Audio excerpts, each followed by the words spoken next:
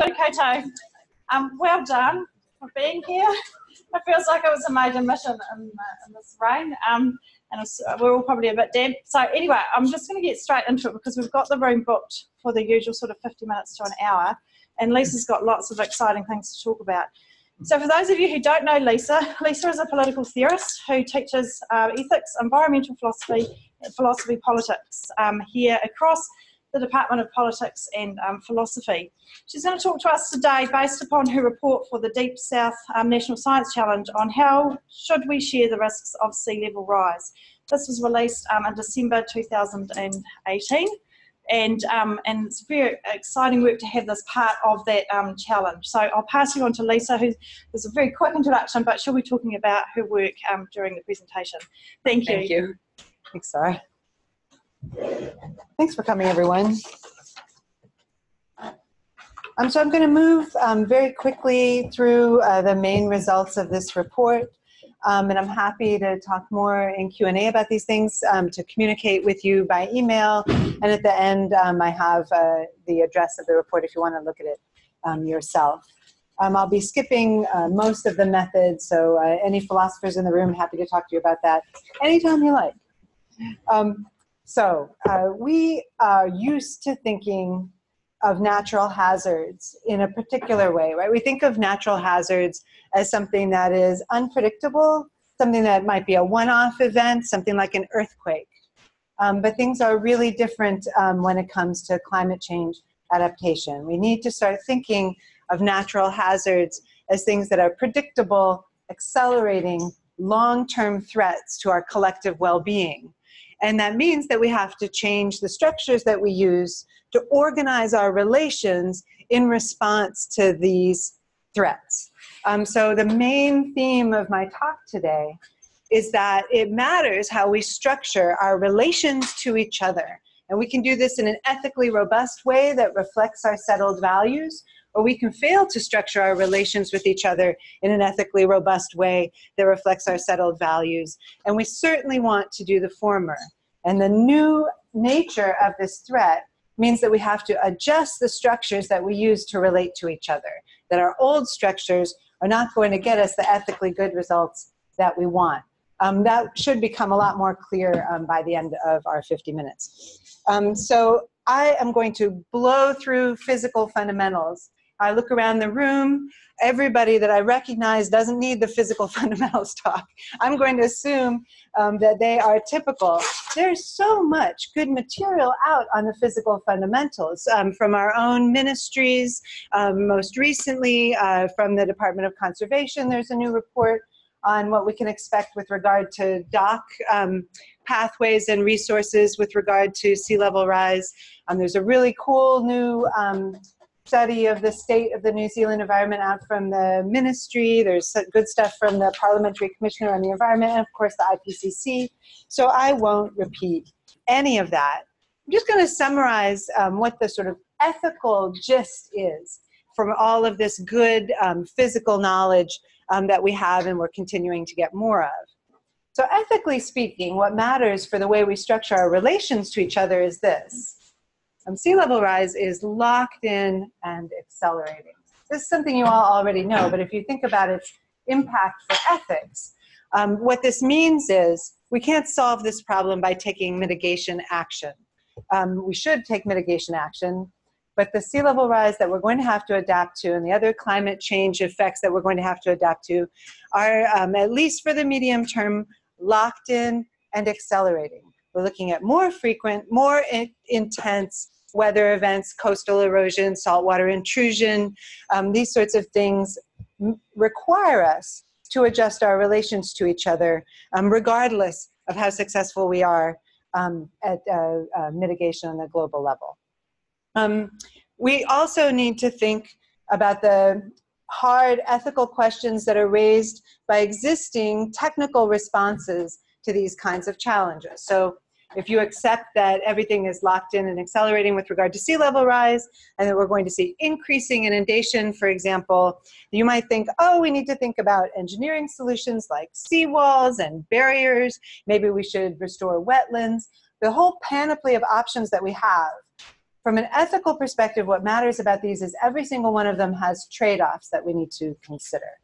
So we can't mitigate our way out of these um, needs to reorder our relations with each other, and um, we can't hope for a technological silver bullet.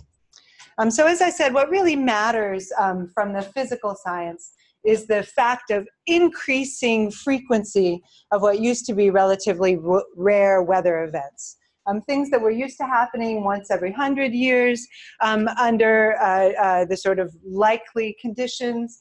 You know, you have a, a, king tide, you have low air pressure, you have unlike, unlucky storms coinciding with the wrong sorts of times of year even, and you're looking at at least every year and maybe even every tide. So ethically speaking, um, we know that we have to uh, prepare for these changes. Um, I'm not going to run through the amount of money um, uh, that is uh, sort of the value of our threatened resources, but things that we're used to having are no longer going to be available to us unless we um, take action. So we're used to having beaches, for example. We're used to having um, coastal airports. We're used to having roads. We're used to having houses um, that don't flood every year. And now we know um, that the mitigation challenge is actually even greater than it was. Um, so we learned um, last year with the uh, UN's SR15 um, that it really is important for us to keep uh, uh, the global mean temperature above pre-industrial levels to less than 1.5. And one, um, there's a sort of ironic silver lining to this fact, and that's that people are getting really serious about adaptation. Um, Greta Thunberg is speaking the truth and people are listening and it's astonishing and uh, happy. Um, one thing i want you to take from thinking about greta thunberg um, you know try not to be super emotional think about greta thunberg and think she is absolutely not a defeatist right? So uh, another message about reordering our relations is this is something that we can view as an opportunity rather than a bitter pill. Think about um, the local challenge of dealing um, with uh, adapting to climate change here in South Dunedin. Right? The status quo of the housing stock in South Dunedin does not correspond to most of our ethical intuitions anyway, even without climate change. Right? So we now have an opportunity to reorder our relations such that they match our ethical intuitions, even apart from adapting to climate change, we would have had this uh, imperative in some areas. And I would say um, the status quo in South Dunedin is certainly one of those. Um, so I said I wouldn't talk about method. I'm just going to say a couple really quick things about method. Um, me and my team, uh, all of us together, uh, were able to take advantage of the method of critical description. I've already been using it in this talk so far. What I mean by critical description is making the implicit values in our practices explicit and seeing whether they match up with our settled ethical values. Um, and the, one of my favorite examples of this is a pretty simple one. Um, this is instantiated in many places in the world, um, especially uh, in the coastal United States. Um, the example of the following policy. What if we had a policy that said, the rich get seawalls and the poor get moved? Right? On the face of it, this sounds like a pretty appalling policy, right? I, never meet people in New Zealand who say, yes, I endorse this. The rich get seawalls and the poor get moved. Other places, it's easier to find people who are willing to endorse it. At any rate, right? Um, this policy follows from, and on the face of it, rational principle, namely that you could spend more to protect higher value property right? So if your spending on adaptation follows market property value, you're going to end up, without ever saying so, with a policy that expresses the value, the rich get seawalls and the poor get moved. Um, it's this sort of analysis that we're going to be doing in this talk. Um, so I want to talk about um, business as usual, and then I'm going to talk about how we can overcome business as usual. As I already said, um, what we're interested in here is interacting with each other fairly, decently, without having suboptimal outcomes that none of us anticipated. And these correspond to values of equality, agency, and collective utility. Um, these are not radical values, um, but they are called into question um, by the structures governing um, uh, aspects of climate adaptation today. So there are basically two main structural problems. The first has to do with risky new development. Um, I hear about this all the time. People say you're talking about climate adaptation. I cannot believe that we're building another new retirement home in Thames, for example. Or I cannot believe that we're going to pile new waterfront development right where um, we're all going to have to end up paying for it. Um, this seems to threaten our values about fair interaction. It seems like we're put on an unequal fitting, and I'm going to talk about this in more detail later, from between society on the one hand, which is supposed to cover the costs of loss according to uh, that's attributable to natural hazard, and uh, from the sort of privatization of of investment gain for an individual investor. Um, so there's something wrong with our relations as they regard risky new development. At risk existing development is a whole separate set of ethical problems. There's not a single ethical problem associated with climate change adaptation. It's a really different kind of relationship we have with each other when we're talking about at risk existing development, things like our airports and our roads and our coasts and our, our uh, endangered um, uh, socio uh, cultural communities um, like those in South Dunedin. There, um, I think the, the biggest ethical risk that we face is that people are not likely, under current conditions, to have a say in the policies that affect them. If you talk to people who recognize that their status quo is threatened by climate, uh, climate change, they are worried that some expert from Auckland is going to show up and tell them that they have to move. And they feel weakened and disempowered, and that also doesn't correspond with our settled ethical values. And finally, um, for both of those uh, uh, sort of structural problems associated with climate adaptation, we have the problem that if we don't coordinate our decisions, we're going to end up somewhere where that we never wanted to be. I'll talk about that um, toward the end of the talk. Okay, so I said there's lots of good stuff coming out. Um, this is uh, last month's OECD report. There are only four case studies in it. New Zealand is one of those four. Um, I'm going to be talking a lot in this uh, uh, next few minutes about the consultation process with the public on sea level rise adaptation that took place in Hawke's Bay here in New Zealand. And it's a really interesting paper. I recommend everybody check it out. Um, one of the interesting results of this report is that even though uh, we may be a model for the world uh, with our consultation processes, a model that could be improved, I'm going to argue, um, we are together with the US and Latvia as the only people without a national adaptation plan. Well, let's hope that changes soon. Okay, so um, this is the beginning of a series of slides of bad news. Um, I want to tell you right at the outset, they will be followed by a series of slides full of good news. Okay, so right now what we're going to do is describe business as usual and then um, see how we can address it. So these are a series of five glosses of the status quo, what it looks like to relate to each other under the status quo. Um, probably the most ethically non-robust is the first one. Um, the status quo means we're engaged in ongoing transfer of risk to the most vulnerable. Almost no one would endorse this policy. Who should bear the risk of some great new threat? The least vulnerable or the most vulnerable? Who's most resilient? Perhaps that person should naturally bear the burden. This is a, an intuitive uh, thing that most people can reason to ethically without any trouble at all. And yet our policies do the opposite. We're engaged right now in transferring risk to the most vulnerable.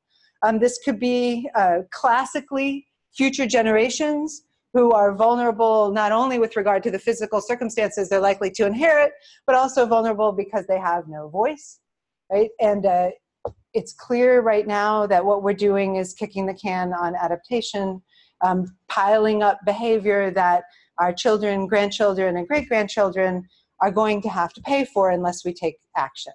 Um, there are some interesting solutions being proposed to this right now in New Zealand.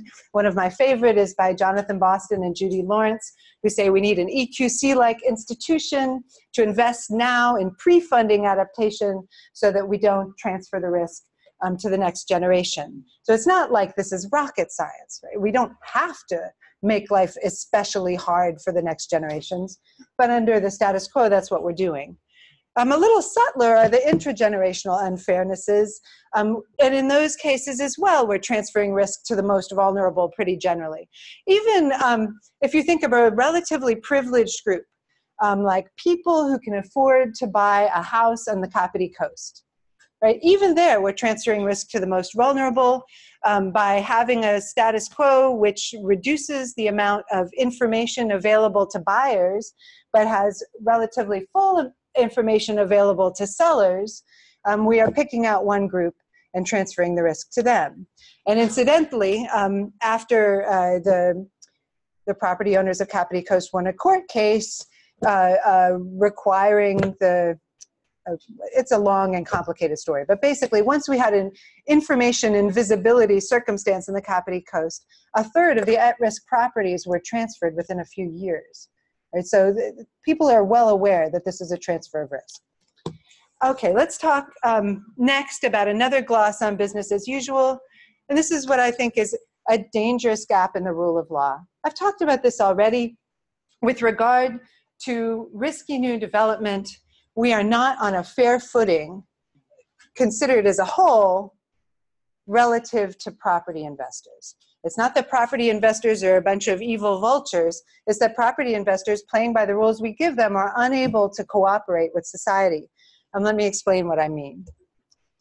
Um, so, uh, how many of you guys have ever seen a game theoretical matrix like this? I'll talk you through it briefly. Um, we don't have time to do introduction to game theory, but the beauty of game theory is that it's really simple. I've been talking about um, our need to set ourselves on an ethically robust footing with each other. What game theory does is demonstrate that in the simplest possible way. What is your relationship to another person? Considering the choices that are available in the current structure to each of you. So all it does is formally map out your choices. Um, so you guys might have been um, contemplating every now and again, depending on your place in the um, this particular structure, either the evils of landlords who will insufficiently insulate and charge you, you know, proactively for costs they haven't even yet experienced, right? Some of you may have considered this. Or you might be considering the irresponsibility of renters um, who trash your place and break windows and don't call you when the water's leaking. And it seems as if renters and landlords, especially here in university town Dunedin, um, are invidiously related. Is it because they're a bunch of moral criminals? No.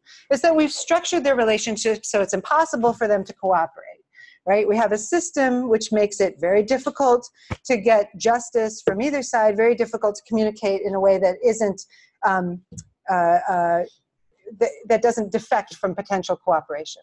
It's that kind of dynamic, like the landlord-renter dynamic, um, that I'm trying to talk about with regard to sea level rise.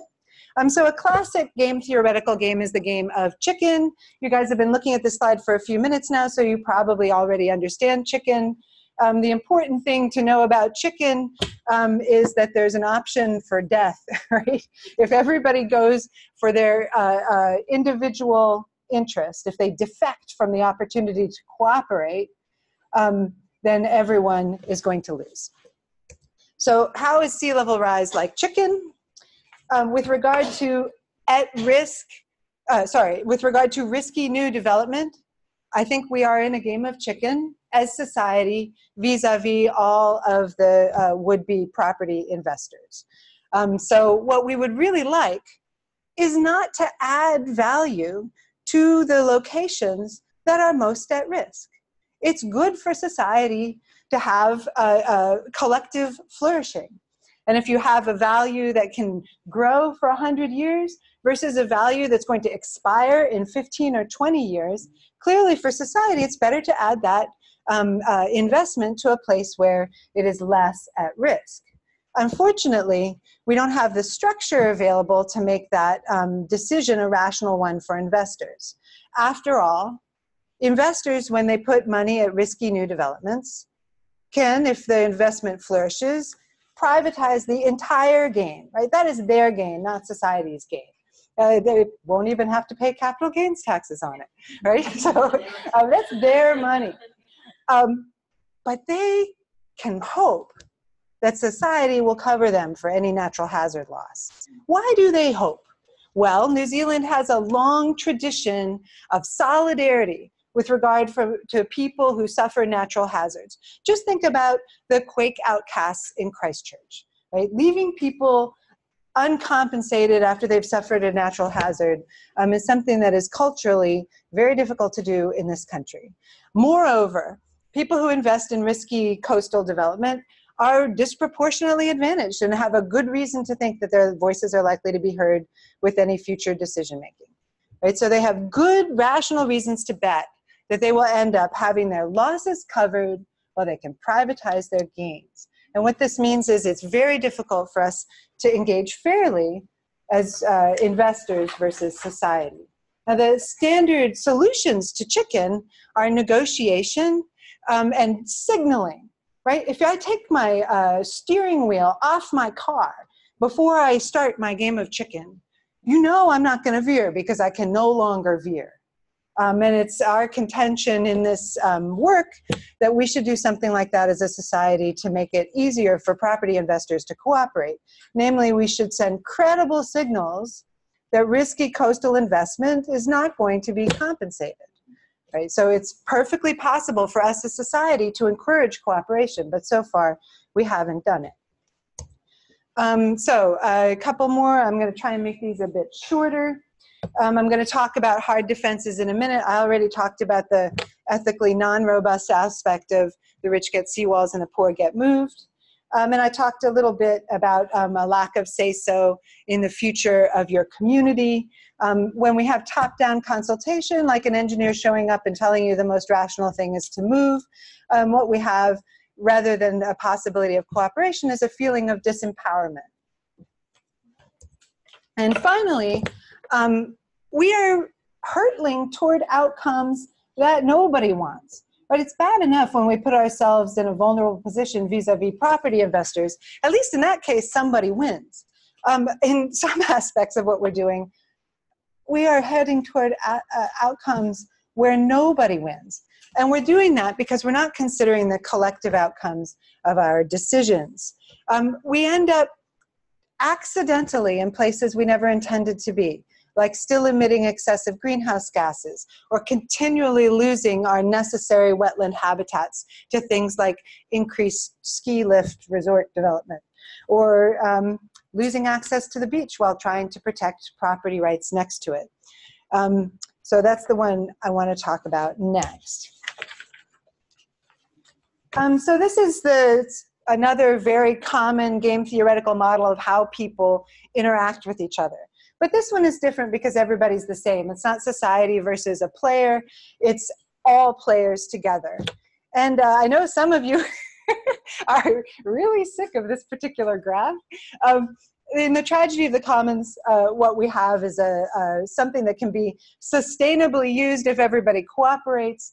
But if even a few people or if all of us decide that we can get a little more privatized gain at everyone else's expense, we're really tempted to free ride on the distribution of cost to absolutely everybody. And what we end up with, because everyone's rational, is unsustainability. The classic instance of the tragedy of the commons, as everybody here already knows, is greenhouse gas emissions at the global scale.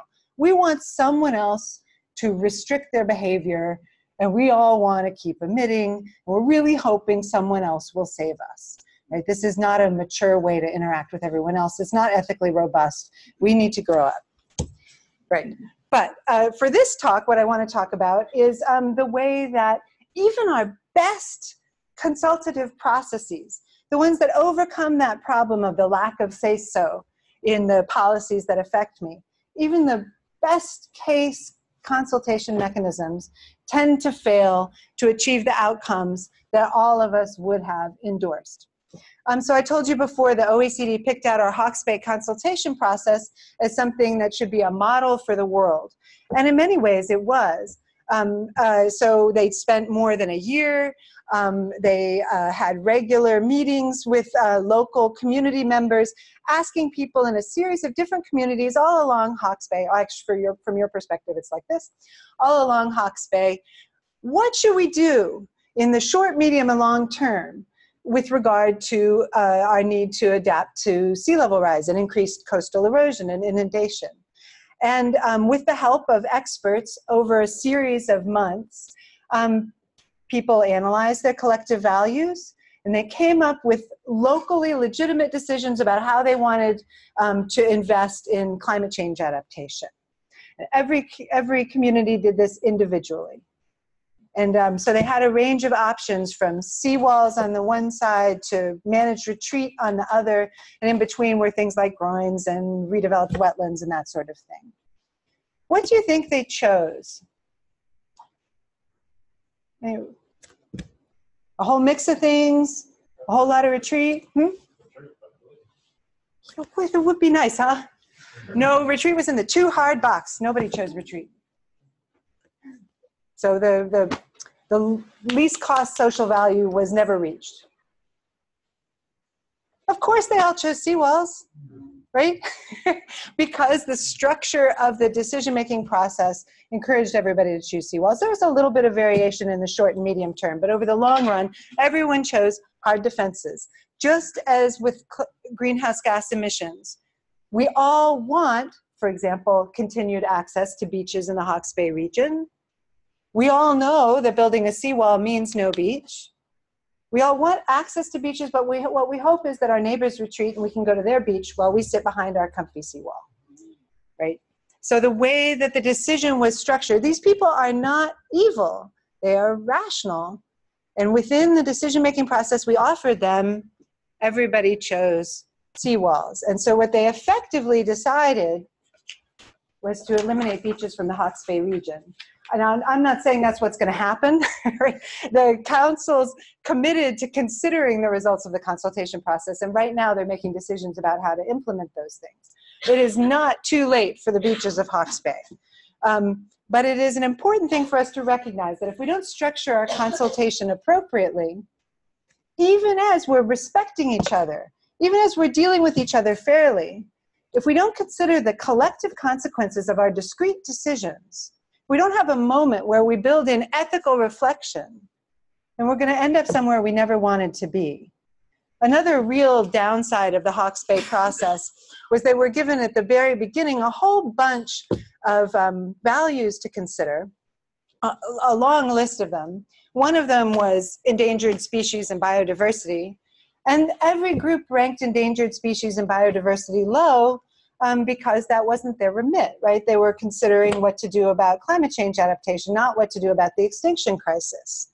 Now, if you ask people, did you will the extermination of all of the endangered species in the coastal areas of Hawke's Bay? Not one of them would say yes right? But effectively, that's what they decided. It's because we structure the process wrong. It's not that they didn't care, it's that they weren't properly able to express that care. Um, so that's the end of the bad news. Business as usual is not looking good. Uh, let me take a few minutes and talk about um, possibilities for better news. Um, so we can get beyond business as usual. Um, some of these solutions re require central government actions. Others um, uh, can be done more at the local level. In terms of central government action, obviously we need to send credible signals, otherwise we're going to remain prey to this trade-off between solidarity on the one hand and minimizing moral hazard, right? Uh, right now, we are not in a rational relationship with people who want to do risky new investment. Um, regulatory certainty could end that game. Um, so that would be good. I also think we should stop transferring risks to the future. I think it's a really good idea for us to pre-fund adaptation. Um, so uh, real pricing, in the world we inhabit today, real pricing is the quickest way to get behavioral change. Obviously, it would be nice if everybody had their ethical considerations and acted on them perfectly, but we're talking about human beings. And if you're interested in a quick behavior change. In my view, there's no better way to get that than putting a price tag on it. Um, so I think it would be a really good idea since we cannot find the polluters, right? They're mostly dead, and the existing ones are offshore. Right? We're not going to get polluter pays for this. Instead, we need to do beneficiaries pay. Um, Hawke's Bay, in their process, had some real advantages in that regard. For example, they built in the cost of removing eventual seawalls from the total cost of um, hard defenses. So they had people recognize through cost, through the dollar value, um, that hard defenses um, had externalities and were only a temporary solution. Um, that was good, but we could do better. Um, I think it's really important for us to um, have to pay for the externalities of our decisions. So if I want to build a seawall and that transfers energy to my neighbors, I certainly owe them some kind of compensation. Um, so I think uh, uh, we have good reason to be optimistic that in this country especially, we are capable of overcoming the, the pathologies of business as usual. We already have some really nice guidelines about consultation. As I've said already, there are two big faults with it. Um, the, the one I've talked about most today is this problem of not considering the collective implications of our discrete decisions. And I think building ongoing ethical moments into our decision making such that we can deal with the outcomes of our um, possibly accidental, possibly relatively misinformed decisions, this is essential. The other thing I haven't talked about much yet, and that I'll just mention really quickly, is the current consultation mode amplifies the voices of the most privileged, right? So how many people under 40 are going to show up to a voluntary community meeting at noon on a Friday? Right? Almost none. Right? We need to be active as a state, as local, regional, and central government. We need to be active in recruiting normally invisible people. And that includes young people and renters, as well as people who can speak for the future. In my view, um, we need to imitate, uh, uh, well, the Hawke's Bay process a little bit, but uh, better some other consultative processes in places like British Columbia, um, where uh, people are offered fair compensation for their time. Um, so I've already talked about this. We need to overcome our collectively irrational outcomes. Um, so uh, the answer to today's question is there is no answer except it's not really that wussy because this imperative to decide that is substantive. Right? As long as we fail to make decisions, we're continually vulnerable to these bad relations we've built for each other. If we make decisions like sending clear signaling about compensation, we will do better. Um, and in fact, uh, I think there's a lot of opportunities for collaborative adaptation planning. Um, so this is uh, one of my uh, colleagues at the Deep South National Science Challenge, Huhana Smith. She and her collaborators have been working um, uh, to imagine different futures for what is currently an iwi run dairy farm, but could well evolve into something more sustainable, um, especially given the fact that they're vulnerable to coastal erosion in their location. Um, they used uh, uh, uh, lots of different ways to get people talking about things, visualization, engagement with students, direct outreach to young people. It was much more inclusive than the standard process. Um, this I just wanted to show you uh, just how intense collaboration has to be right? The one and done quick consultation is, uh, in my view, worse than nothing. Uh, if you're going to do democratically legitimate consultation that gives people a say in the outcomes that affect them, it costs money and time. Um, but the benefit is bring everybody along with you in making this world that allows us to relate to each other better rather than worse. Um, you have the Hawke's Bay process rather than the Gilets jaunes that, had, that Macron built for himself with his top-down policy. Um, I'm just going to skip this and get to that. Um, so I think we have a real opportunity as a country um, to do better uh, than pretty much anybody else. But we're used to, in the sort of adaptation circles, we're used to pointing to the UK and going, they know what they're doing. They have a climate change commission, they have advisors, they're already, they've adjusted their insurability problems. Aren't they great? I don't know how many of you guys have been listening to Greta Thunberg lately they have not been great. Right? It is time for us to step forward um, and show the world how it's done. It's not rocket science. I think we can do it. Thank you.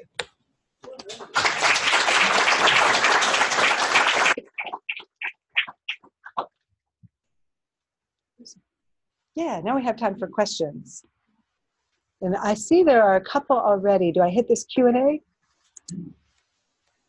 Oh, thank you, um, you guys who are not here for providing the first questions. I really appreciate that. Oh my goodness. In what ratio should we invest in adaptation mitigation for the next decade? well, the, the honest first answer to that is, of course, I have no idea. I'm not an economist. But I will say um, what we should consider ethically with regard to that. Um, so, conventional economic um, planning uses a formula for discounting the future. And it's based on a couple of assumptions. Right? We assume that future people will be wealthier than we are. Um, if, if you have real measures of wealth, um, such as natural capital measures, there's no chance of that being true. And even if you use conventional dollar value measures, um, I, this generation might be the first for whom that's not true. Um, so that's the first sort of underlying premise that allows us to discount the future that I think is just empirically a no go. Um, second, uh, discounting the future presumes um, that just because people can't speak for themselves, we can neglect their interests. This is using uncertainty as a proxy for ethical robustness. And as anybody who's thought about sustainability knows, it's just not okay to use uncertainty as an excuse not to act. Right? So even back in Brundtland, right, the original idea of sustainability is you don't use uncertainty as an excuse not to act. Instead, you have to think about keeping your options open for an eventual good outcome, even as you're not really sure how to get there. Um, so I don't know what ratio we should use, but I sure do know that the current conventional future discounting is ethically and empirically not robust. Maybe I should take a question from here first and just alternate. Would that be okay? Um, there was one over here first, and then what? put up here that all museums have a role to play. Yeah. How do you go about that? Just with climate change, so we're all going to be very busy doing nothing other than trying to make the future suitable for us to do something in. Right. Oh, that's a really great question. Actually break out of that cycle where some people have time and not necessarily skills. It has to be short enough for me to repeat for the recording. I'll give it a go. um, so here's what I take from the question. If everybody has a role to play in adapting to climate change, how can we possibly live our lives reasonably? Because we'd have to spend 100, 200, 300% of our existing effort oriented toward the future. And this doesn't seem reasonable. And it most certainly it is not reasonable. Um, uh, that's a great question, right? So um, the first thing I should say with regard to that is I think the frame of current sacrifice for future sustainability is a mistaken frame. And the reason that the frame of sacrifice for future sustainability is a mistaken is that it neglects the opportunity costs entailed in the status quo. Um, so take the example of automobility. And I'm so sorry for those of you who've heard me say this before. It's my favorite example. I'm going to use it again. So automobility. When I was born, I was not asked, do I endorse a robust public transport system or do I endorse automobility? Right? Nobody ever said to me, you're going to be in this social convention where for most uh, humans, uh, you have to use a personal vehicle fueled by fossil fuels and emitting such that you're damaging everybody for every mile just to get around and have a socially normal world. Nobody asked if I wanted to be, as I like to say, fat and estranged from everybody else. Fat, sick, and estranged from everybody else. Um, but that's what I got. Um, so uh, uh, I think if we adequately took account of the real costs of the status quo, we would see that there are co benefits in every little step. And so rather than working for the future, we would be working for our present. Um, for example, um, there's real anger in the UK recently about um, their not having spent their money to reduce pollution as well as CO2 emissions with regard to their transport system. Um, 700 people a year are dying who don't, don't need to die, according to the Guardian story I read um, we should take account those current sacrifices. And by working to end that, we're making our current life better, not just the lives of the future. Um, so the second part of your question was, how could I possibly have sufficient energy to address this? And the answer is that you have to stop thinking, right? Essentially, that was it.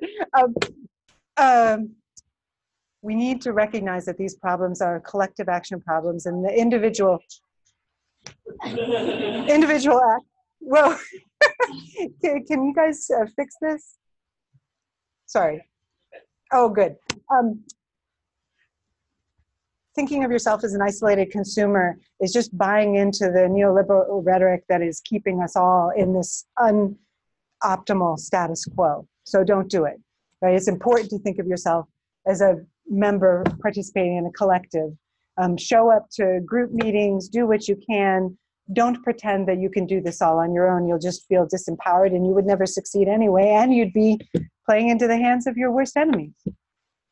Um, and now I'll take another question from this board. Oh, there are so many. What was the second? Um, oh, good. There.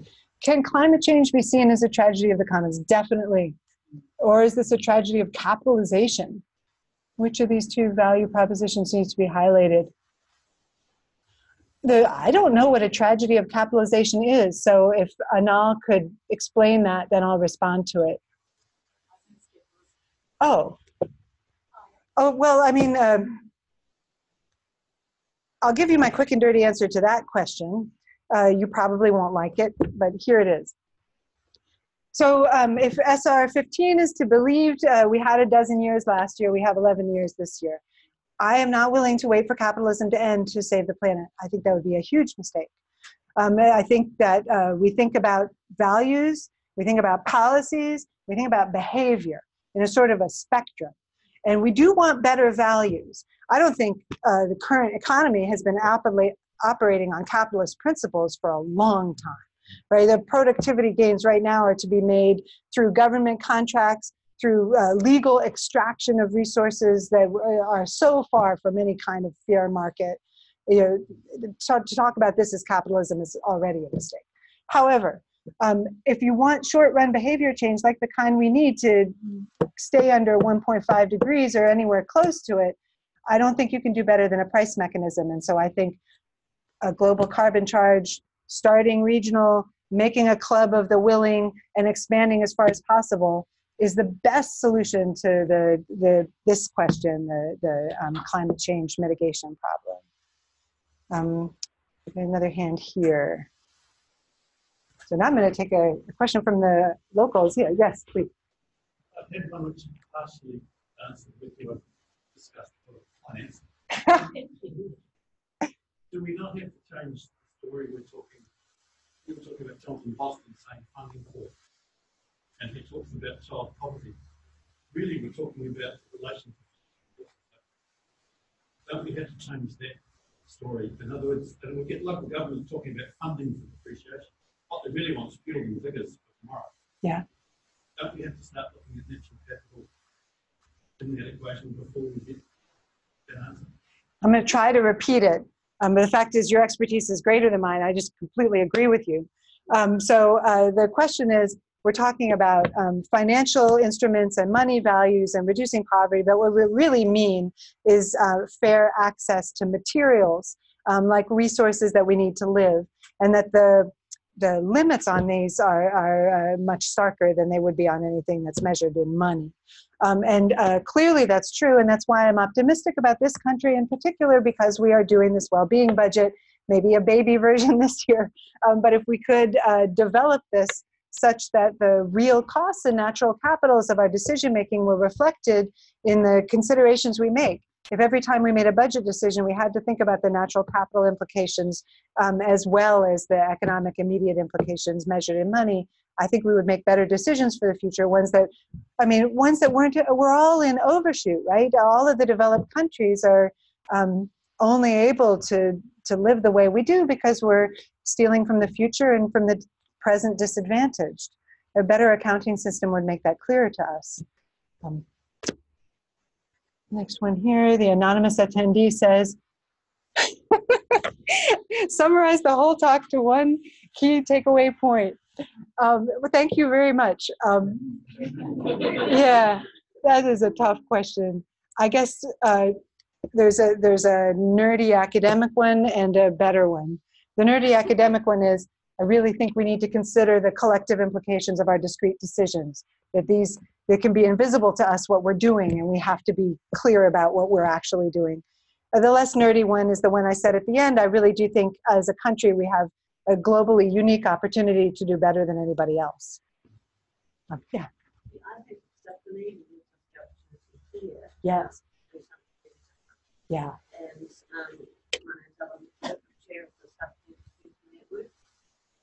And I'm really interested in hearing the consultation in Hawke's Bay. And I'm very keen on doing that then. Yeah. Because we're already considering small consultations around the community. Yep. Um, and how to do that with the opportunity of proactive council to adapt policies and those. It's like, it's not- It really is. I'm going to summarize a bit and then you're going to correct me and tell me which bits I forgot. Um, so uh, Eleanor is talking about, just? Um, Eleanor is talking about the opportunity that we have in South Dunedin um, to have a really robust consultation exercise around these challenges that we face. Um, because we can interact with the community and the council in a way really better than what has happened elsewhere, including Hawke's Bay. Um, I do think that um, with regard to the, the first problem of representing the underrepresented, um, Dunedin is just much more likely to succeed than they did there. Uh, they did have compensation, but their outreach wasn't active enough. You know, we already have, um, uh, uh, uh, thanks to the collaboration of community groups and the council, um, people whose whole job it is to make sure this goes right. Um, that's already a huge advantage over other people. Um, the other thing I think is harder. Um, so uh, including the underrepresented, that's a no-brainer that just takes will. Um, making sure, yeah, yeah, right, totally, will and skill. I, that is true. Um, and it shouldn't be. I don't mean to downgrade it. I think it's an essential. If you if you don't have it, you might as well not do consulting. Um, but I think thinking about the collective implications of these decisions is harder. Um, just because um, if you think if we divided Dunedin up into sections, we wouldn't have easy cooperation available to us unless we built that into our process. Thank you. I, I no longer have access to my screen, but um, how do we approach limiting real estate development on waterfronts? Um, I think we should make it clear that uh, the this is exactly what you can expect in terms of compensation and insurability and no more. And then in this case, I think price signals would take care of that. Um, maybe that's too optimistic. Uh, do we have time for one more question from the room? Yeah. in relation to the last point, some insurance companies are already saying they're not going to insure certain properties. And there's been a huge outcry in the media and parliament saying this is all wrong, they're money grabbing. Yeah. So I'll try to repeat the question. So the question is, um, there's already insurance retreat in places, and there's been a lot of media scare about this, and a lot of political talk about how terrible it is that we're not being done right by global reinsurers. Um, which whoever expected that? Um, but, but I mean, one thing insurance is really good at is sending a, a, a coherent signal.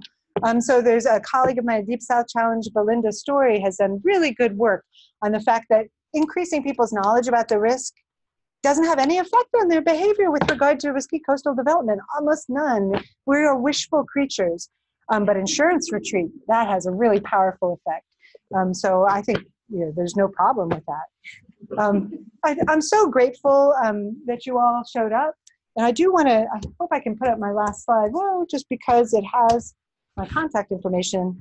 Um, well, I'm not able to, but I'm Lisa Ellis at otago.ac.nz, and I'd love to hear um, from any of you if we can keep this conversation going. Thank you.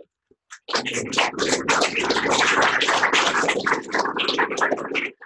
would just quickly like to um, formally thank Lisa as well for coming today and you all as well for coming along. Um, I've, I've found that totally wonderful, um, but I also really like the fact that there is some optimism. And those of you, oh, there's only a few of my students here, but know that I am a little bit optimistic and I really hope, um, like you do, that as human beings, we can be um, human beings and actually do something in terms of what you're talking about and create this collective um, good out of what um, we currently have.